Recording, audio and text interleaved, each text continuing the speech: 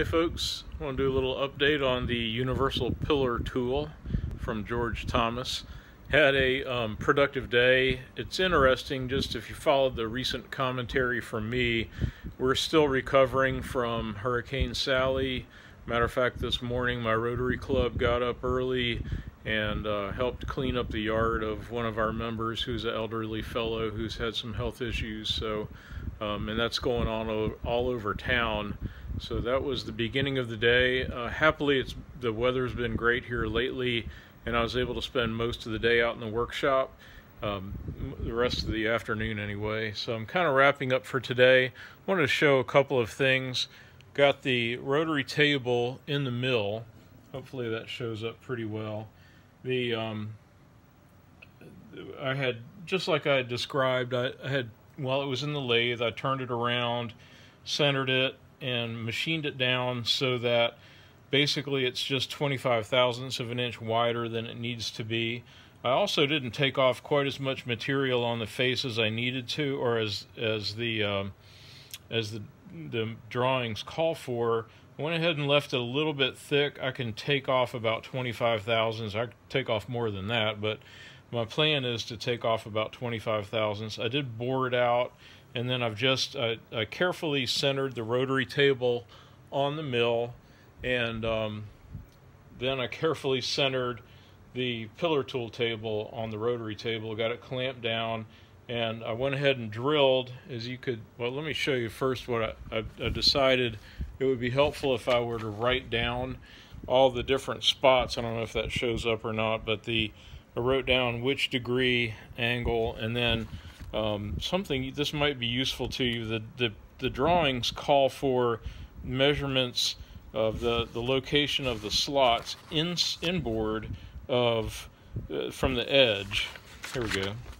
So everything measures from the edge of the rotary table in, and I had you know I had it centered and I had my DRO zero zeroed on the mill. So what I did was I just subtracted the dimensions as I just mentioned, that the outside dimension of the table is not finished yet. So it would be not a good idea to measure from the outside to the in to mark out where the, the holes in the slots are. So uh, long story short, I figured out where, you know, which, which degree mark and then measuring from the center out, um, how, where should the holes be drilled. So I drilled 5 16 inch holes for each of the spots. I, um, center drilled them and then I drilled them. And then I just use a, a, a two flute milling cutter to mill out the slots. So that's basically finished. And I'm here to tell you, it sounds simple to talk about and it's, uh, it happens fast when you see a CNC machine do kind of stuff like that.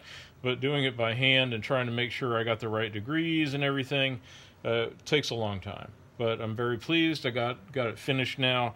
So the next thing, I'll, when I finish shooting the video, um, I'm going to take this out and I will clean the table up, uh, deburr any of the slots that need to be deburred, and uh, I will use some uh, nail polish remover to clean up the center bore of the rotary table. And I'll let that dry. And I've got some this Loctite primer I'm going to use to prime the location for the green Loctite. And this stuff, once the, uh, the little table stem is Loctited to the table, it's not coming off. So uh, not without using like a, a blowtorch to heat it up and then a press to press it out. It is a light press fit. I very carefully machined this on the lathe.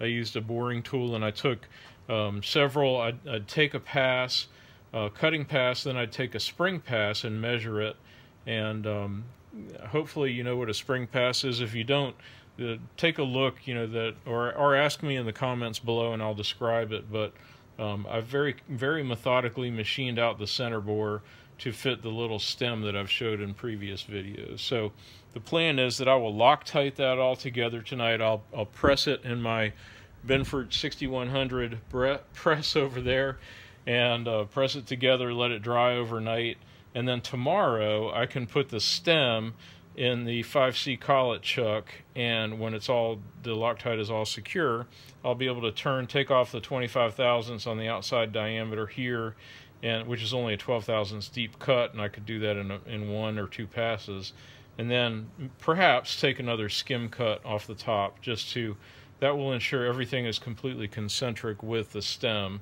I, I don't anticipate any lack of concentricity, but um, you know, be good practice to be able to do that.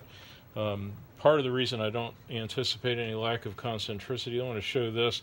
I have this um, coaxial tool. I use this for both centering the, the rotary table and the, uh, the table for the pillar tool on top.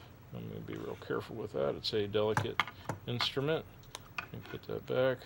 Um, something else might be handy. This is a actually a Morse taper. Gosh, I'm jostling the camera around, aren't I?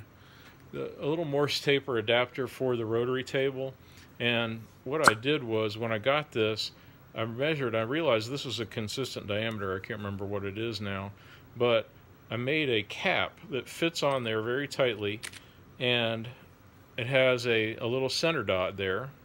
So I, when I first put the rotary table on, I'll go ahead and clamp it down in its position and then I'll put this in and I'll use a feeler gauge not a feeler gauge, but one of the, an indicator like this with a point, and I'll use the pointed indicator and I'll go right to the center there. And that gets me within about six thousandths of an inch of being perfectly centered. It's pretty amazing. Um, and then, so then I'll lock things down and I'll mark zero, zero on my DRO, and then I can use the coax indicator in the center part. I'll take this out and use it in the center part where this thing goes. So I hope that makes sense, but it, you know, it is a long and time-consuming chore to to center a rotary table. But so I'm, I'm very pleased with that technique. Very happy about it. And uh, there we go. There's another close-up, little different view of the rotary table.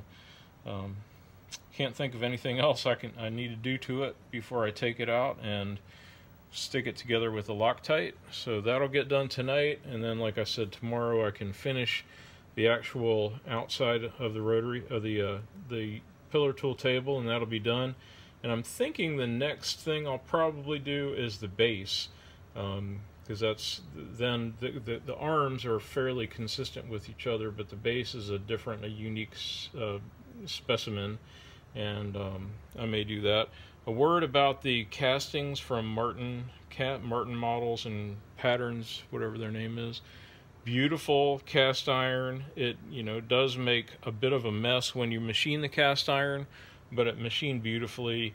And um, I just vacuumed it up or swept it up or used a magnet to pick it up. No hard spots, no voids in the castings, nothing so far. It's just, it's been a, a virtual dream. So really happy about that. Thank you to the folks at Martin Models, Martin Castings for making those.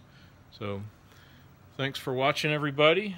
Uh, be sure to stay tuned for future updates, and I will keep you posted. Thanks again.